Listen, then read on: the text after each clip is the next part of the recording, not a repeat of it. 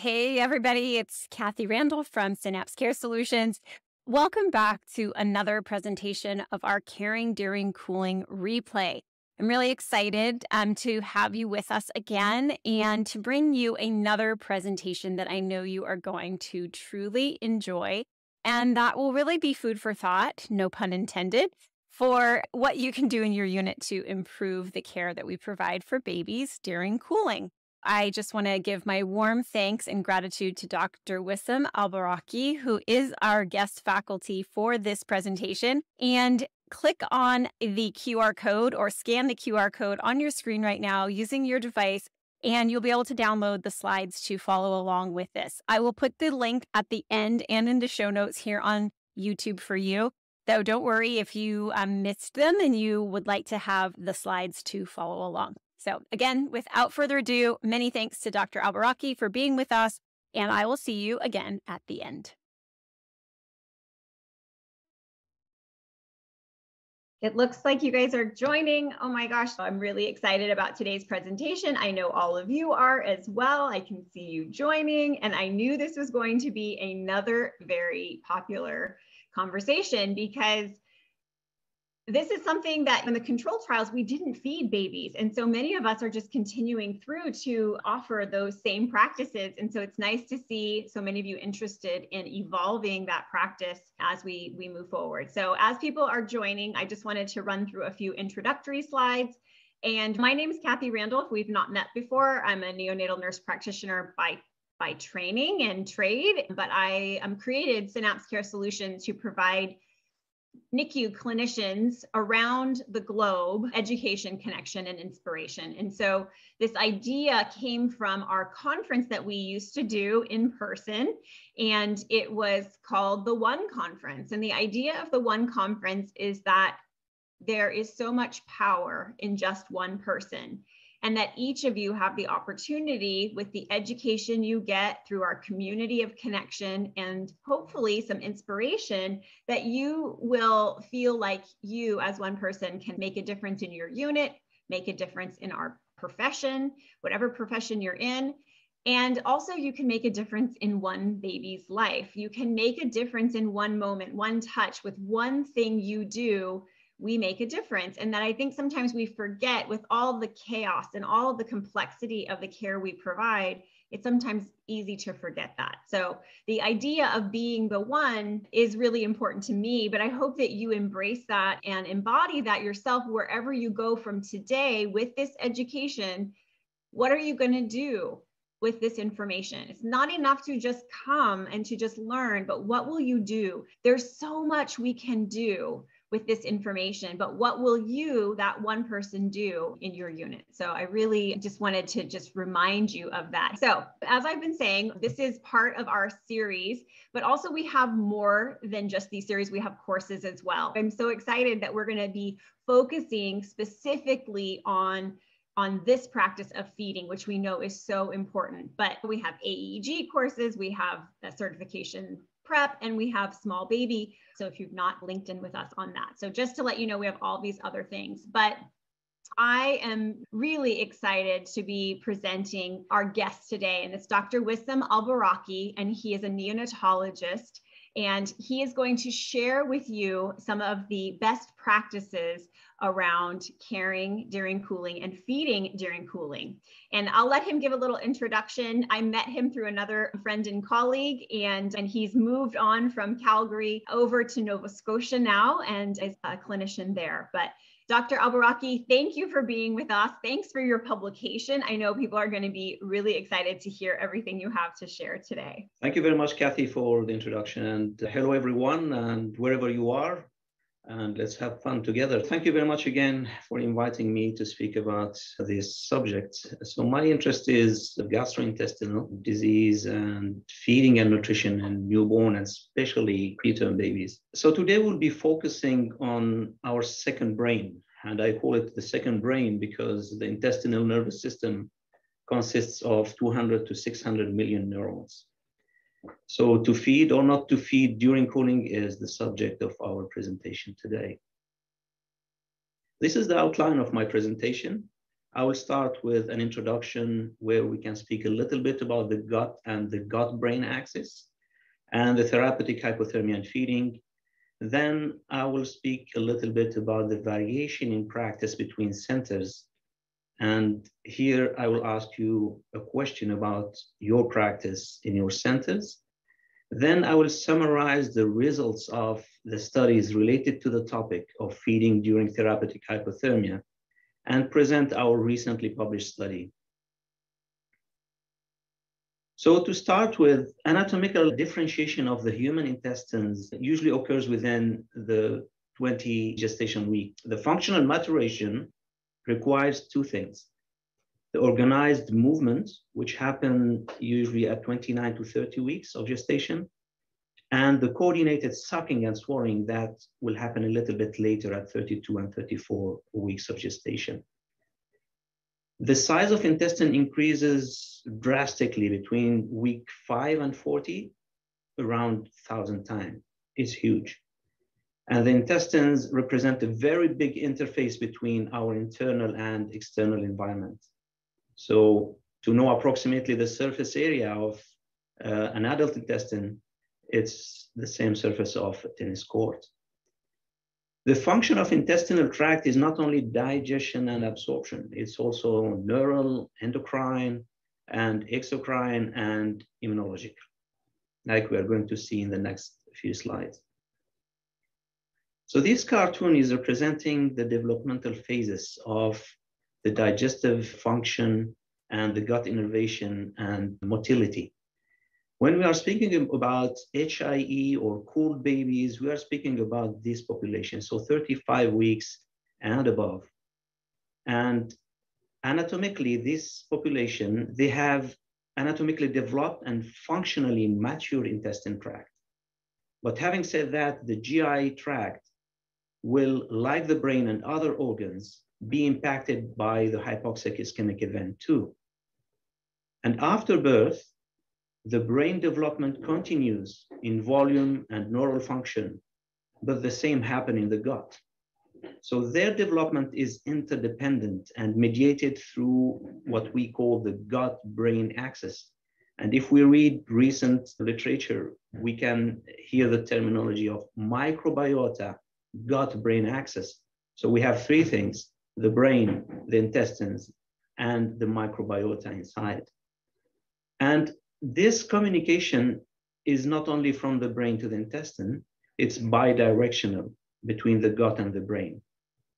And it seems that the gut and the brain are constantly talking to each other. We don't have a deep knowledge of this language, and we are just decrypting a few letters of this complex language. But speaking about gut and brain, my gut feeling is that the future researchers will bring more comprehension to our brains of this complex relation and connection between them. So let me give you a few examples of this mechanism. So these mechanisms include neural, so the central nervous system, the enteral nervous system, the autonomic nervous system, which is the sympathetic and parasympathetic, represented by the vagal nerve. And the autonomic nervous system is known to be connected centrally to the limbic system. But also we have endocrine, immune, metabolic mediators. So the brain will send signals to modulate the GI function. But at the same time, the intestines will produce molecules that will influence the brain. So I will just mention three or four examples for simplification. We all know that the breakdown of the protein in the intestines will give amino acids. And without those four amino acids coming from the intestines, the brain wouldn't be able to function and have its neurotransmitters, serotonin, GABA, dopamine, norepinephrine, and histamine. So this is a very important relation between the gut and the brain.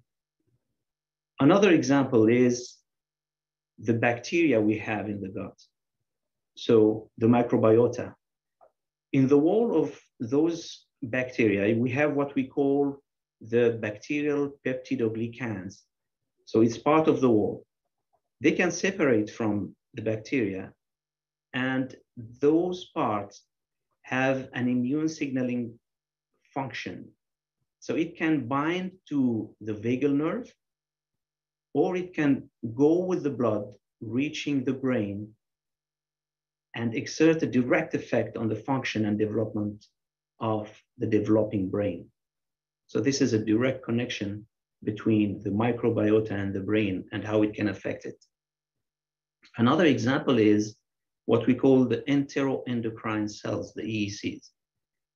Those cells produce hormones like ghrelin or the well-known glucagon peptide 1, which has a neuroprotective effect on the brain.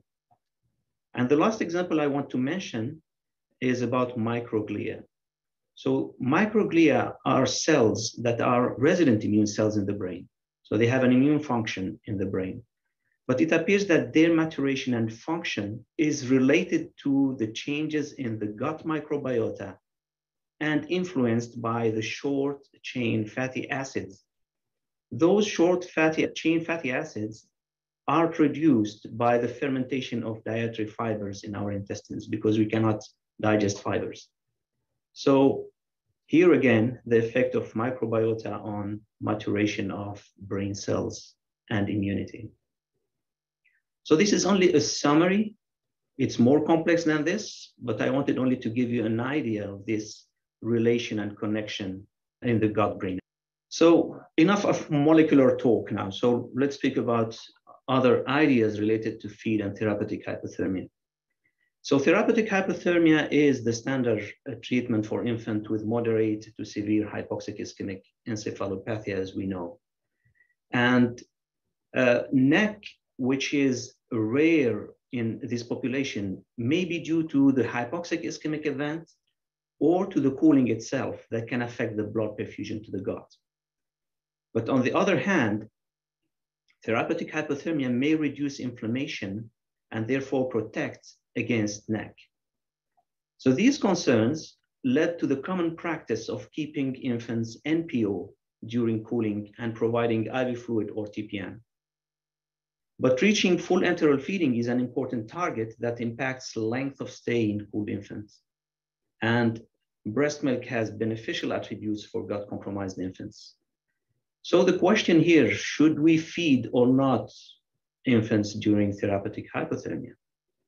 And before going to the studies and details, I would like to know your opinion and what is your practice in your center. So to only to have an idea. So do you feed babies during cooling or not? So we'll give you 30 seconds to answer this question and we can see and display the result after this.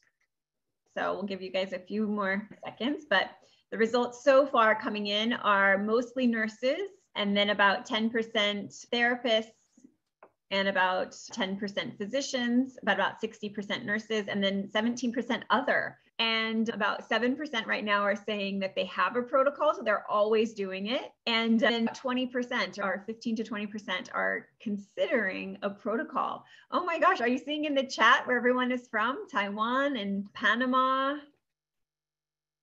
Arizona, Israel, New York, Ukraine.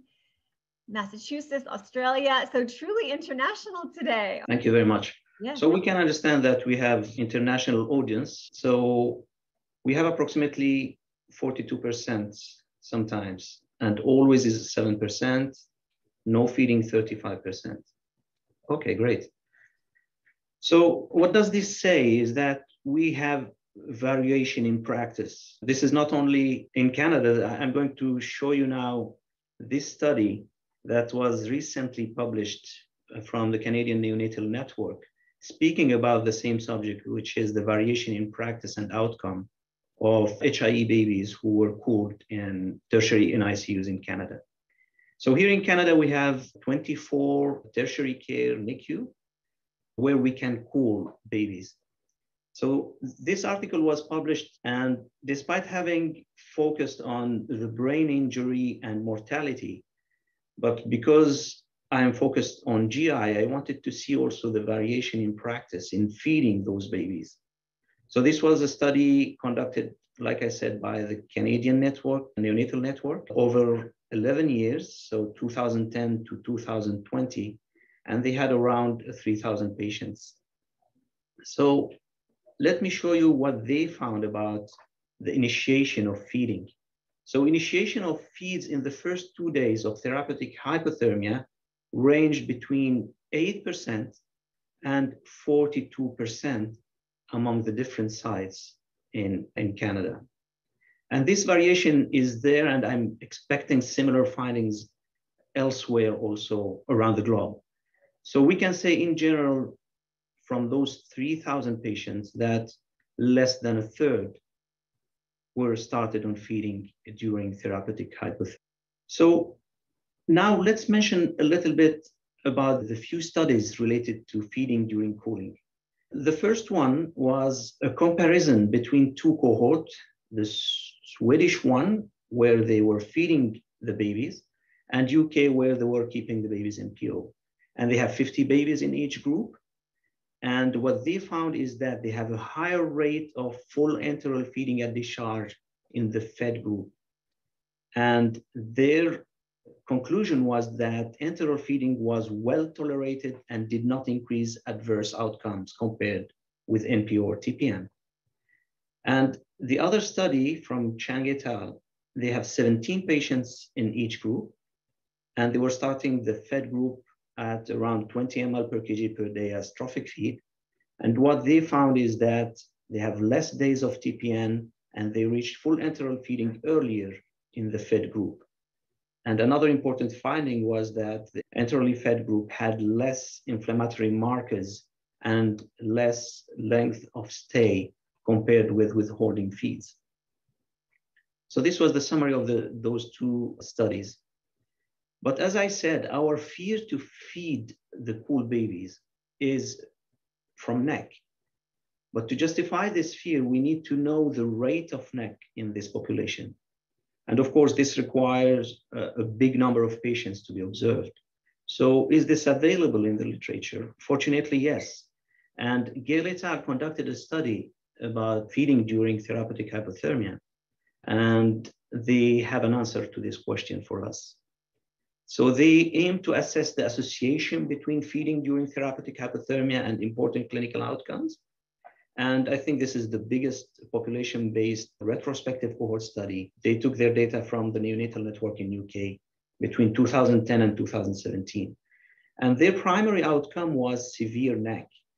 The secondary outcomes were late onset infection, survival to discharge, length of stay, and breast milk at discharge. So let's have a look at during that period, they have around 6,000 babies who were cooled. But worth mentioning here that their criteria for cooling at that time in the UK was more than 36 weeks gestational age. And what we can see here is that less than third of those patients were fed during cooling. And the important number we have to remember is that only 0.1% of those cool babies developed severe NEC. What they have done also is from this big cohort, they created two matched groups. And this is to have comparable baseline characteristics between the two groups. So 1600 approximately in each group. And what they found is that they have less than five cases in each group. But the fed group had less late onset infection and more survival at discharge and more breastfeeding rate at discharge and less length of stay in the hospital. In this study, there was an absence of data on HIE severity indicators. This may have confounded the association between enteral feeding and favorable clinical outcomes. And the other thing is that the feeding was reported as dichotomous outcome. So you have feeding, non-feeding, we don't have any information about the volume or the progression of the feed. So now in the next few slides, I will speak about our study that was published in the Journal of Maternal, Fetal, and Neonatal Medicine uh, about feeding during therapeutic hypothermia. Before 2016, our practice in Calgary, Alberta was to keep cool babies NPO during cooling. But after this, we started to feed them fresh mother's milk when available and having in mind that we may benefit from the stem cells so our study design, this was a prospective cohort with historical control. We included all babies who qualified for cooling at 35 weeks or above, who were admitted at Alberta Children's Hospital, level three NICU in Calgary, between January 2013 and December 2018. During this period, we had 146 babies cooled. The first group was the fan-fed group, 75 patients, and this was the first epoch between January 2013 and May 2016. So this group was kept NPO during the 72 hours of therapeutic hypothermia, then was fed and increased gradually to reach full enteral feeding. The TFI during cooling was kept at 50 ml per kg per day.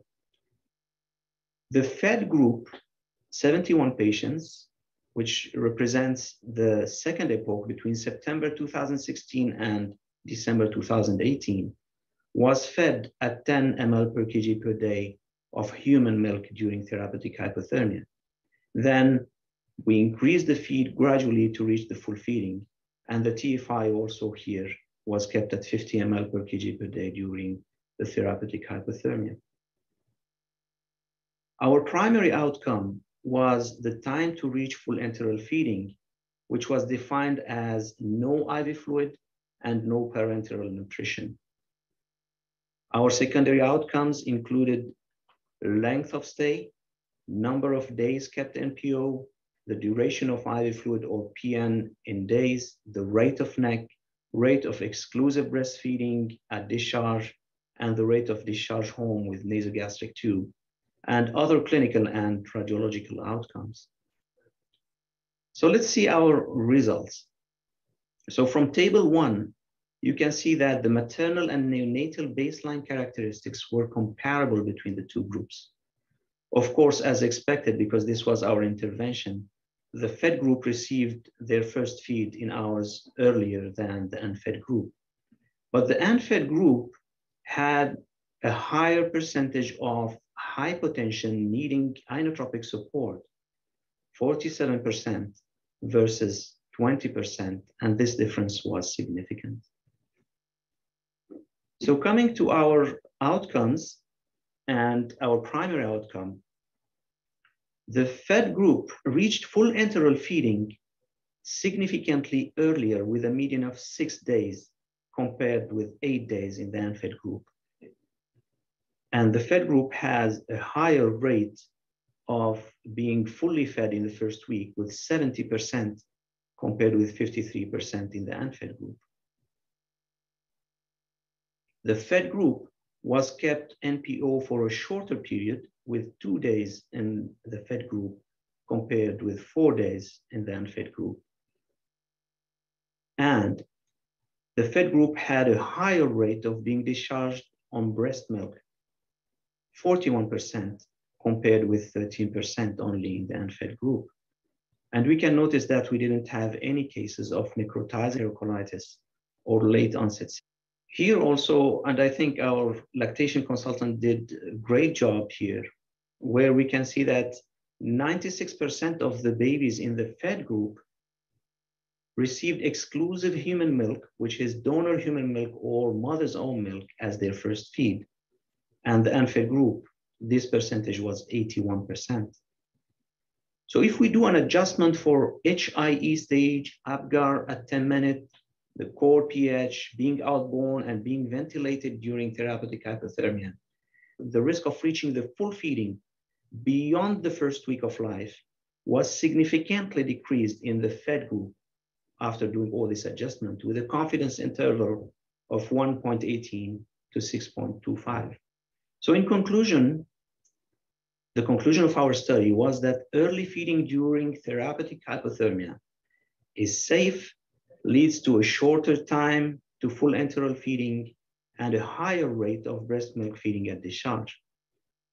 And in general, there is a growing evidence suggesting that enteral feeding during cooling is beneficial and promotes gut stimulation and feeding tolerance.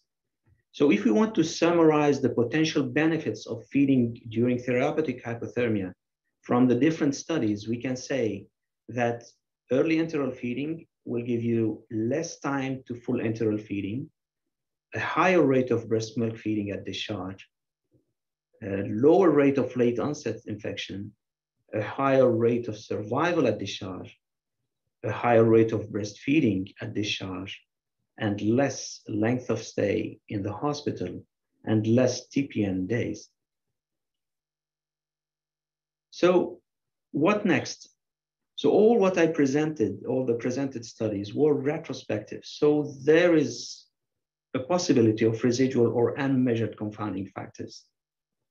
So what we really need is prospective studies that are sufficiently powered, multi-center, to answer this question in a better way.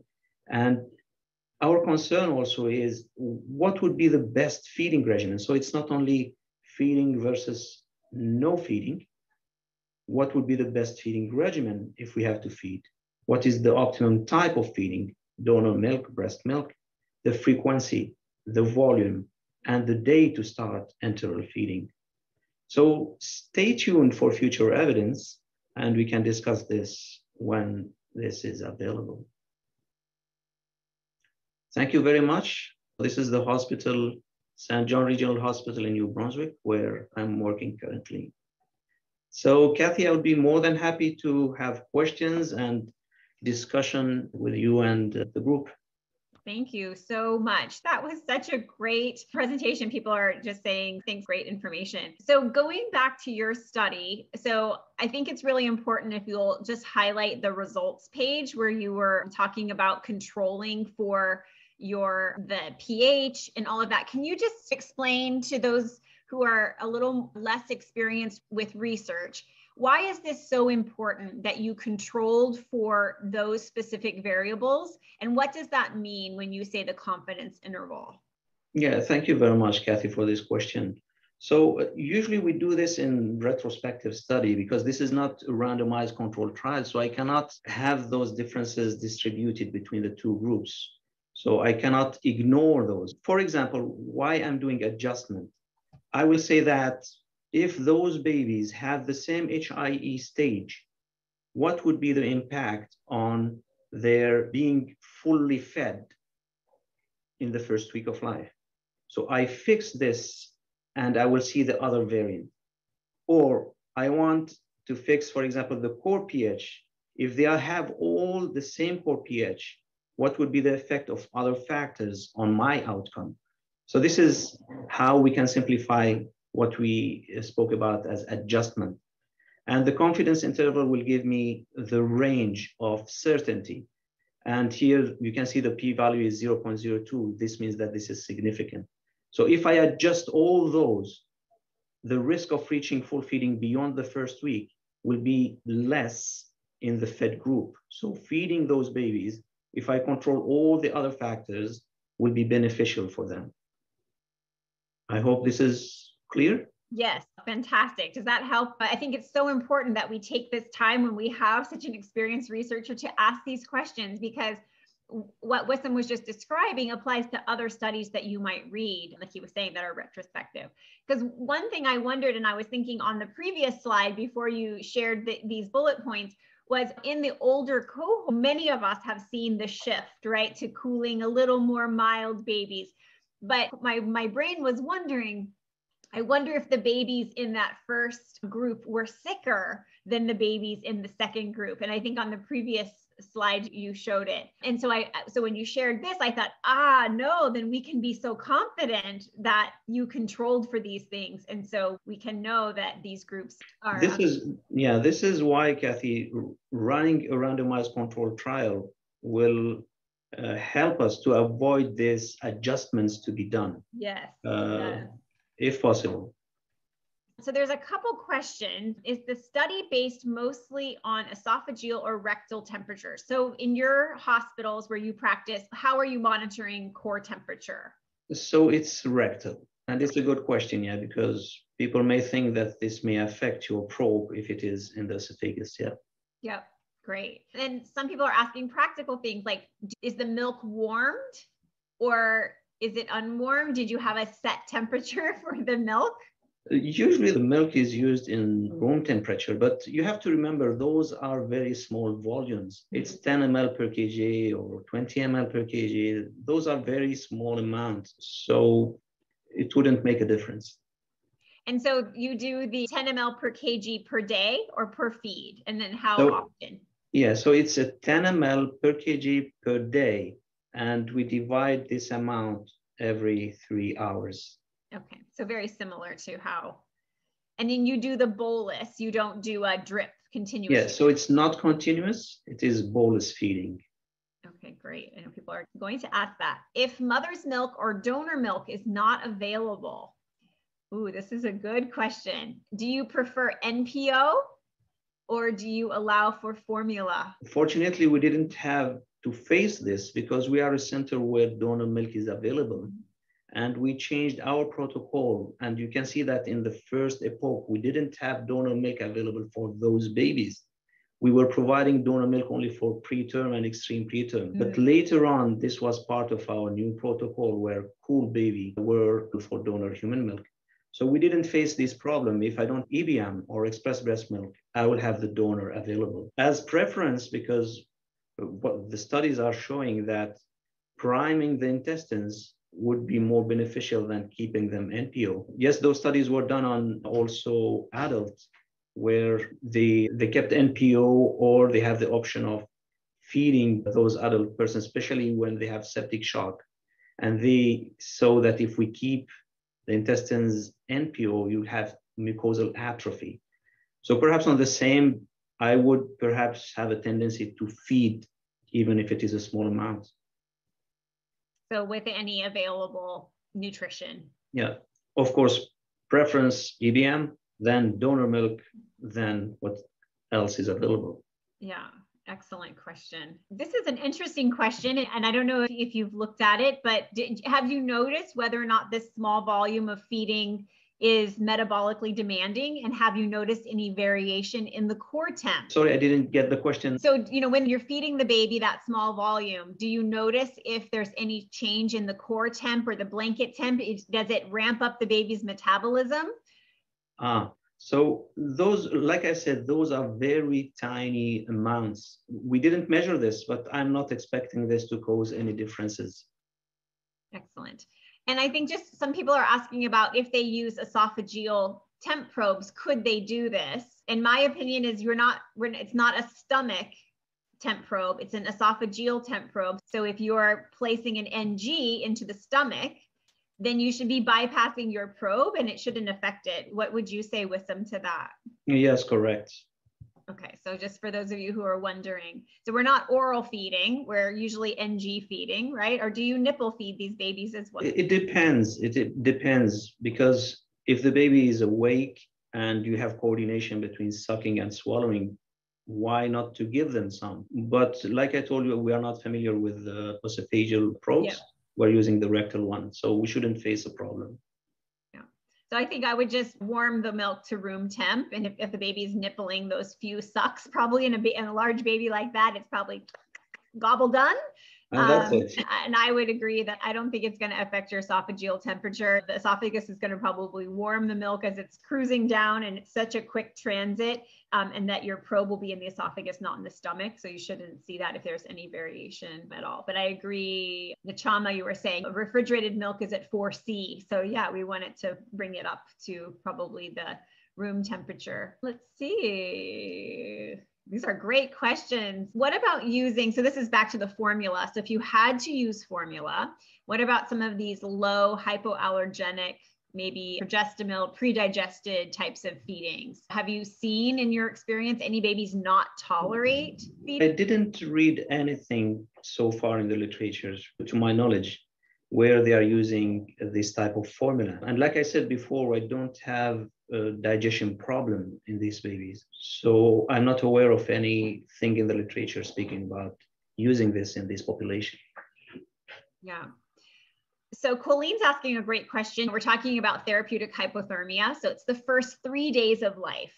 And so sometimes mom have very small volumes. And what if the mom's expressed volume is below your goal and would you just give as much as you can and then supplement with donor milk if you had it and i guess back to formula if you had that or would you just do oral swabbing oral immune therapy with what you have how would you play with yeah. that that, that's a great question. And this is a practical question also. If I have even a drop or two drops of this precious fluid, I would use it as OIT and complete with donor human milk.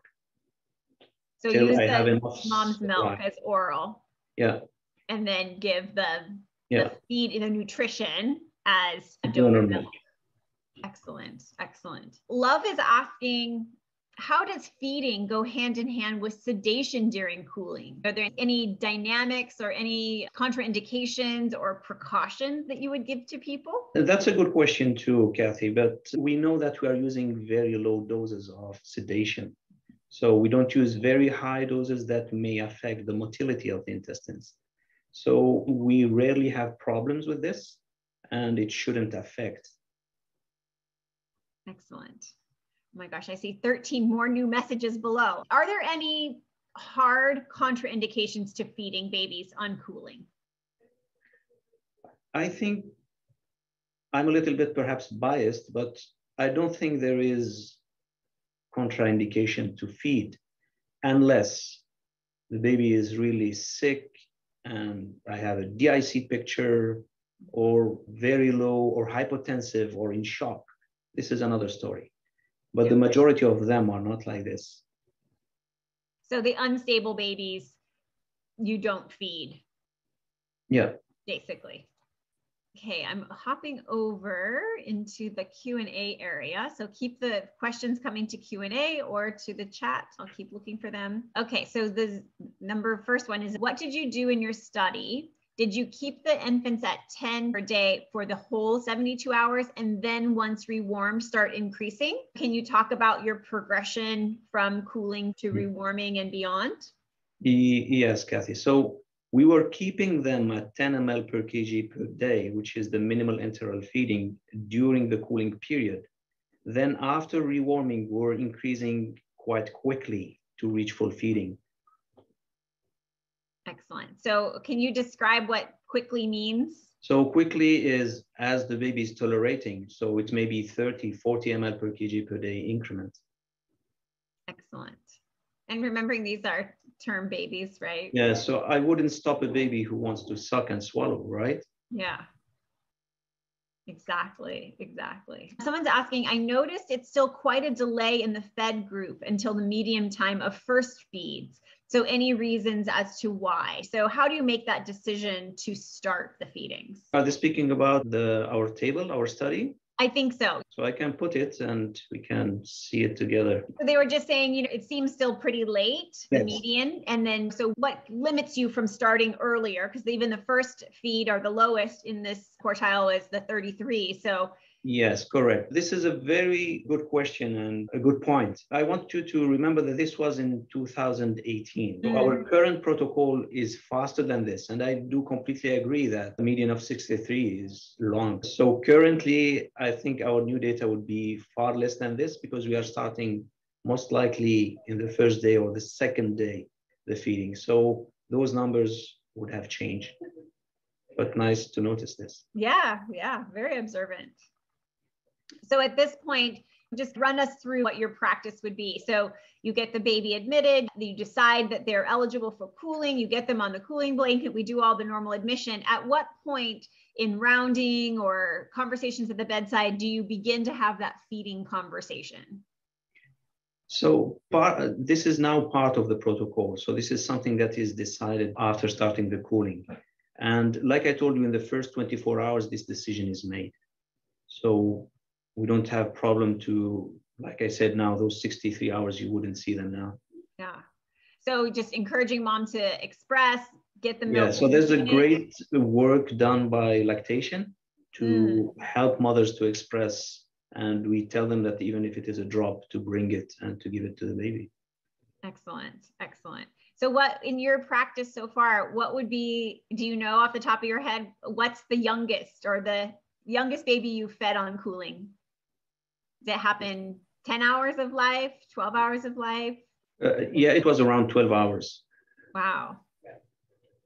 That's and I think that's where that clinical confidence comes from. You guys have been doing it, you've studied it.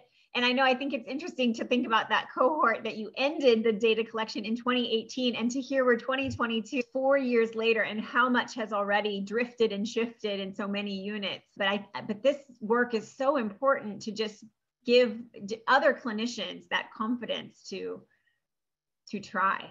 So in addition to offering the enteral feedings, do you also provide the oral care, like you mentioned, the oral immune therapy? Is that part of your protocol? It is a routine. Yeah, it is a routine. That's your routine.